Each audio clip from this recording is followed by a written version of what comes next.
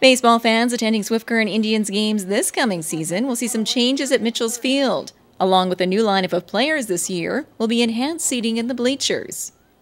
A committee spearheaded by former head coach and GM Harv Martinez got together in March and made an effort to find funds for enhanced seats, such as these seen here from a Lloydminster company.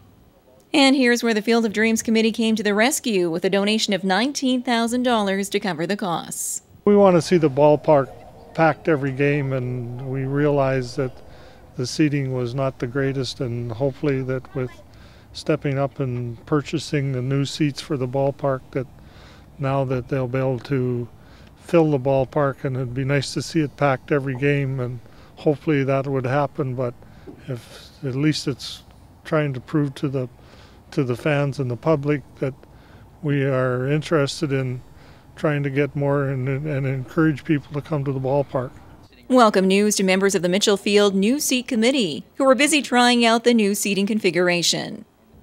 Joe Collinson indicates the new seating should be installed in the first two weeks of the WMBL season, with the following changes to seating capacity. Right about now, with all the seats, with as it is, I think the seats is about uh, a little more than 600.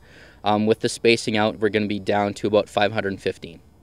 Um, but that's going to, you know, we'll fill those seats quite rapidly, I think. The 2011 WMBL season for the Swift Current Indians kicks off on June 1st at Mitchell Field.